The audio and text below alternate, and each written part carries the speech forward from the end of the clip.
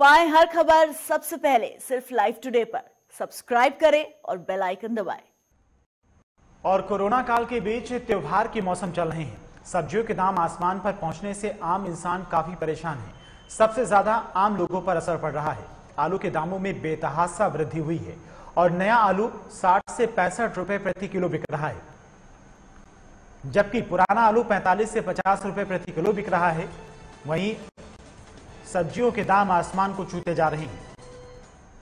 शिमला मिर्च 100 से 120 रुपए प्रति किलो बिक रहा है। और टमाटर के दाम भी 50 से 60 रुपए प्रति किलो बिक रहे हैं। परवल 80 गोभी 50 भिंडी 50 रुपए प्रति किलो बिक रही है। बैगन 40 तरोई 50 मटर 160 और नया आलू 60 रुपए में। पुराना आलू 50 से 80 रुपए प्रति किलो बेचा जा रहा है।